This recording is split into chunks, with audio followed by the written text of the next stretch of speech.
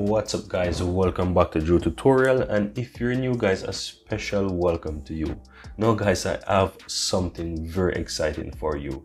If you're currently owning a chromebook in 2024 there are often times that you'll need to access a website or you need to play a game. And that's why in today's video, I've compiled a list of 1000 proxies that you can utilize to play your games or access various websites on your school Chromebook. I really hope that you found this useful. And as a token of appreciation, guys, I'd really appreciate if you can give this video a thumbs up and subscribe to the channel if you're new.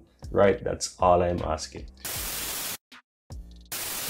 right so as you can see guys there are over a thousand different proxies some of them are search engines that allow you to bypass to access various websites and some of them actually does both right? So you want to go ahead and go through the list and ensure that you find something that works for you. So you want to take your time and go through them. There are quite a lot of proxies. As i said there are over 1000 proxies that I've compiled for you guys so that you can try and so that you can have some flexibility and freedom on your school Chromebook to access whatever website and whatever games that you're trying to play in 2024 really hope that you find this useful guys. And as you see all of them actually work. So what i'm gonna do guys i'm gonna simply go ahead and i'm gonna grab for example the first one and show you that it actually works. So for example blockaway.net if you go to this website here this is actually a proxy website that allows you to bypass. And as you can see here it's a free proxy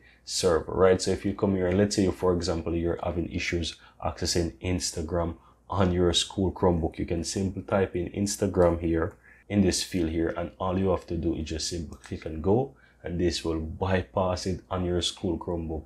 Take you to this page where you can click on Instagram and it will take you right into the Instagram page where you can access the Instagram on your school Chromebook and here you have it guys. As you can see Instagram is here. It's loading and it's ready to use. So all you have to do is just simply log in to your Instagram account and use it on your school Chromebook.